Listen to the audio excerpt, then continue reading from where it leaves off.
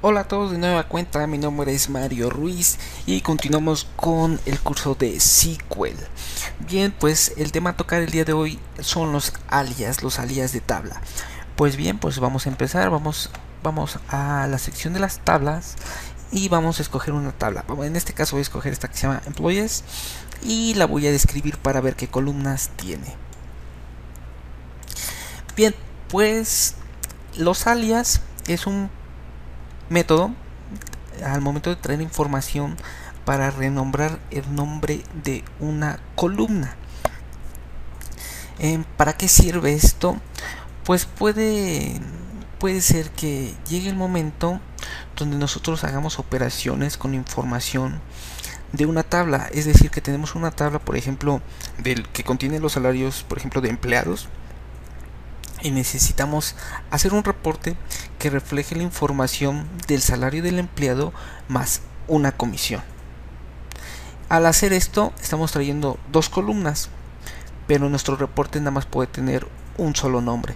Y para que este procedimiento suceda, para que al momento de traer dos columnas diferentes tenga un solo nombre, pues vamos a necesitar de un alias para renombrar el resultado entre la suma de estas dos columnas. Vamos a ver cómo funciona esto.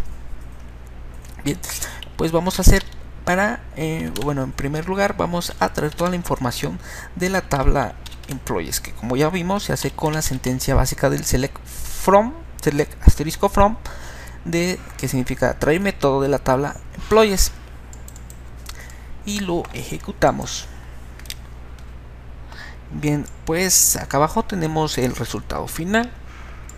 Y como les comentaba hace un rato, el alias, vamos a, mm, hacer un ejemplo aquí muy obvio.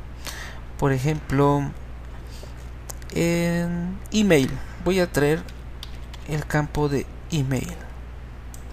Lo selecciono y aquí me aparece, me, me está trayendo solo la información del email.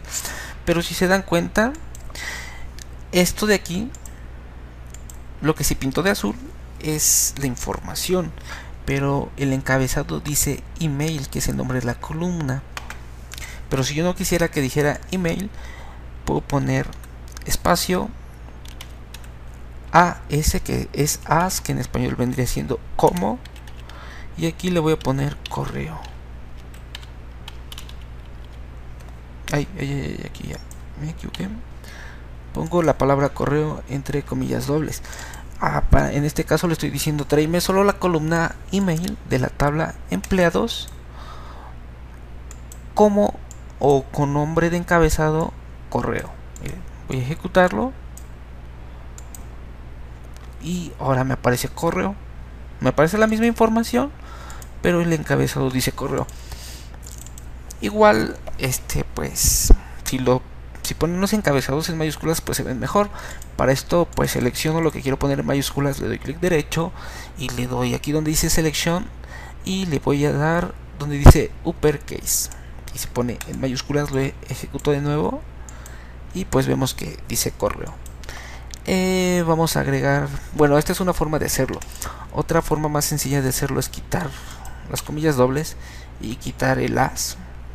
Y entonces ya tendríamos dos palabras juntas así este es el nombre de la columna y este es, el nombre de cómo queremos que aparezca en el reporte. Lo ejecuto y aparece correo. Bien. Ah, vamos a poner otra cosa. Vamos a poner, por ejemplo, el que dice first, first name. Oye, más fácil aquí. Oye, lo copio.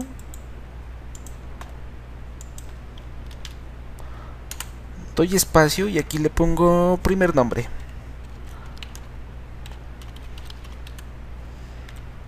Primer guion bajo nombre. Recuerden que no puede haber este igual esto es importante que les diga no puede haber espacios en blanco en el nombre del alias. Aquí acuérdense que es importante separar las columnas con una coma.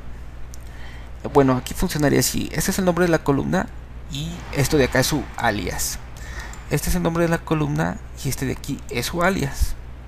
En sí, ahorita lo que estamos haciendo es traer dos columnas. Pero ah, son cuatro cosas los que tenemos porque primer nombre es alias de la columna first name, que es una columna. Y correo es el alias de la columna email. Entonces nada más estamos trayendo dos columnas. Vamos a ejecutarlo y pues aparece primer nombre como alias y correo como alias. Este, bien, esto nos serviría pues a la hora de hacer nuestros reportes son de gran utilidad. Ah, igual para cuestiones más, más detalladas. Vamos a hacer un ejemplo un poquito más, más a detalle. Voy a agregar una columna en la cual voy a hacer la suma de dos columnas. Vamos a poner el salario multiplica, bueno, sumándole, haciendo la suma entre el salario y el campo comisión PTC.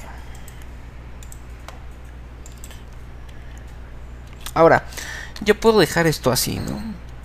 Y en este caso tendríamos tres columnas. Tendríamos una columna donde va a aparecer el primer nombre, otra columna donde va a aparecer el correo y otra columna donde vamos a donde va a aparecer la, el salario sumado con la comisión y vamos a ver cómo cómo pinta esto. Bien, este, pues si se, si se dan cuenta, pues nos, eh, ahorita no nos está trayendo información, pero en el caso de la descripción del nombre de la columna, si se dan cuenta, nos está trayendo la palabra salary más comisión PTC, que esto no es este presentable o no nos funciona en un informe ejecutivo para, describir qué significa esto. Bueno, sí, sí, sí nos representa qué quiere decir, pero no es lo más, lo más óptimo. Para esto, pues vamos a agregar un alias y vamos a poner, eh, eh, por ejemplo, mm, aumento. Aumento salario para saber bien en específico qué es, es esta suma, qué es el resultado final de esta suma. Y identificarlo mejor en nuestro reporte. Y ahora sí ya lo estamos viendo. Eh, pero para esto vamos a ver, vamos a, vamos a tener toda la información de la tabla. Para ver la causa de por qué, del por qué no nos está haciendo la, la suma.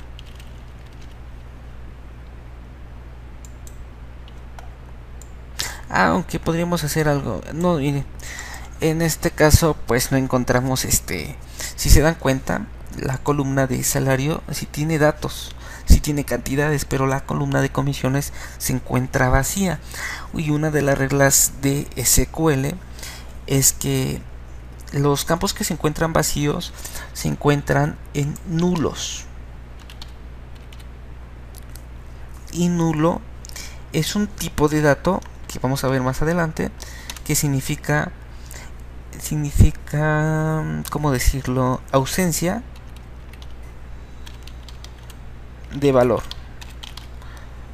Significa que está vacío, pero no significa que es cero.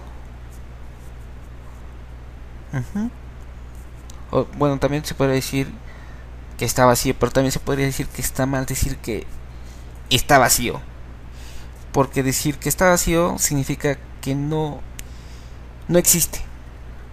Pero en sí, para la base de datos, significa simplemente ausencia de valor. Y ausencia de valor es igual a nulo.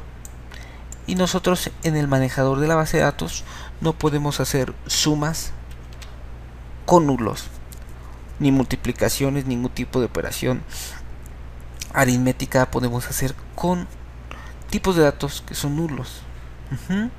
En este caso, si se dan cuenta, si nosotros en la, eh, en, eh, no sé, a lápiz hiciéramos esta suma, por ejemplo, de 9000 más nada, pues nos traería 9000.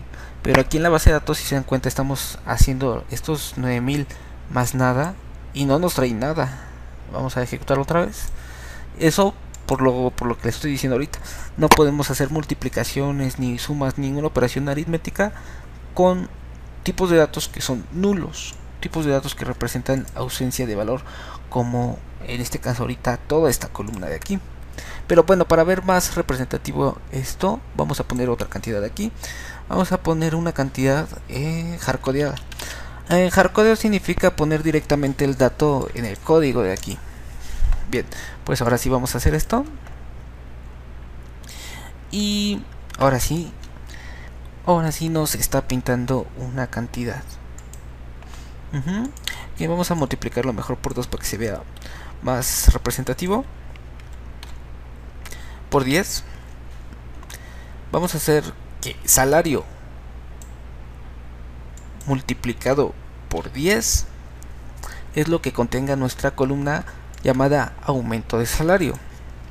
Pero aquí también para ver la diferencia vamos a pintar la columna de salario solita, sin, sin la multiplicación para ver la diferencia. En este caso, la columna salario es la única que no tiene salary, es la única que no tiene alias. Y pues, pues vamos a ver, vamos a revisar. Entonces,